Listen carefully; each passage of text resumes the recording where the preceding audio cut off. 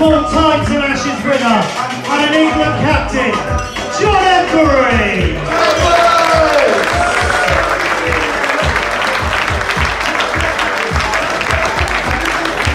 Please man who is one of the greatest spin bowlers of all time. He's a Surrey legend. He created the and he represented Pakistan on over 200 occasions at Test and ODI level. Ladies and gentlemen,